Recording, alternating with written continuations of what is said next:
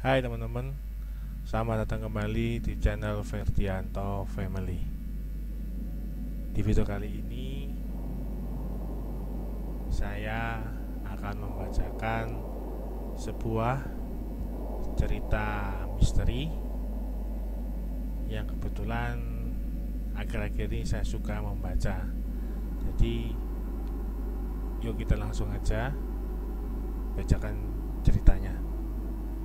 Jadi ceritanya ini saya dapatkan dari website storyal.co Saya masukkan linknya ada di kolom komentar Teman-teman bisa lihat.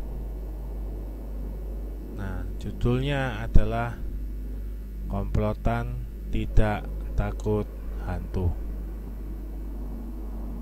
Cerita ini ditulis oleh Muhammad Novianto.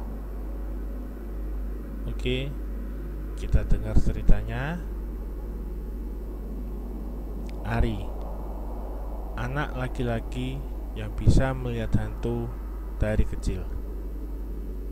Ari suka menggambar. Kadang dia gambar hantu yang dia lihat. Seperti keluarga hantu yang tinggal di dalam sumur samping kamarnya.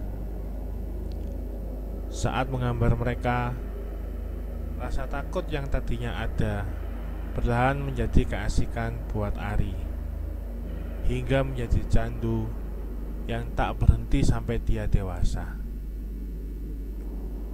Saat di bangku sekolah menengah pertama, Ari dibawa bapaknya ke klinik psikiatri.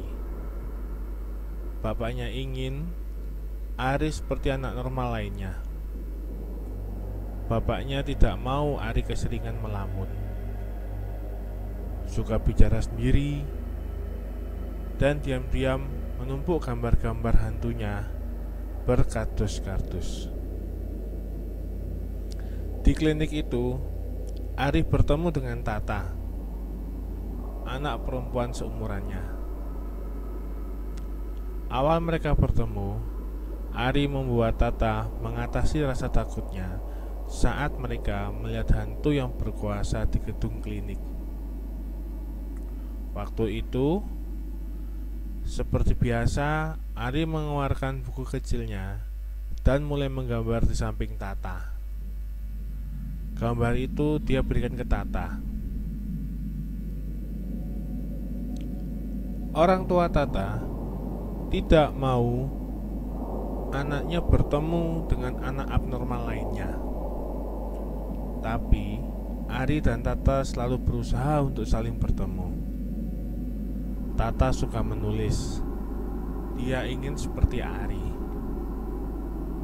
Saat mereka bertemu, Tata selalu membacakan tulisannya tentang hantu yang dilihatnya, dan Ari memperlihatkan gambar-gambar hantunya.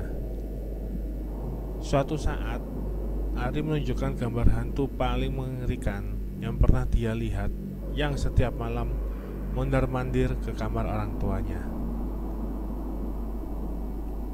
Setelah itu, orang tua Ari sering bertengkar.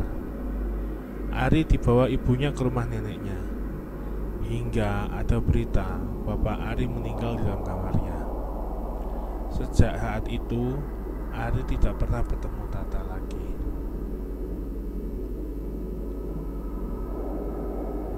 Ari bisa masuk sekolah menengah favorit karena dulu bapaknya guru senior di sana. Di sana, Arif bertemu Tata lagi.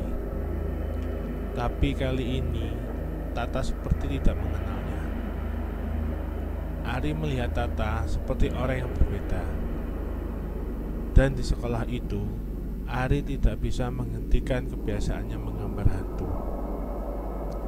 Seperti hantu anak perempuan yang kakinya hancur.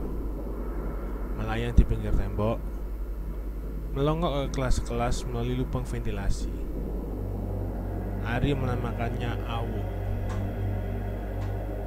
Kebiasaan Ari diketahui Haki teman sebangkunya. Haki mengusulkan gambar Ari untuk dimasukkan ke majalah dinding. Walau ragu, Ari mengiyakan karena dikenalkan Rida, pengurus majalah dinding, yang diam-diam Ari menyukainya.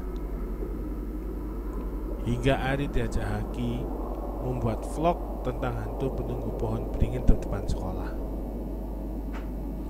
Setelah itu, sekolah jadi gempar karena gambar-gambar Ari dan vlog Haki yang menjadi viral.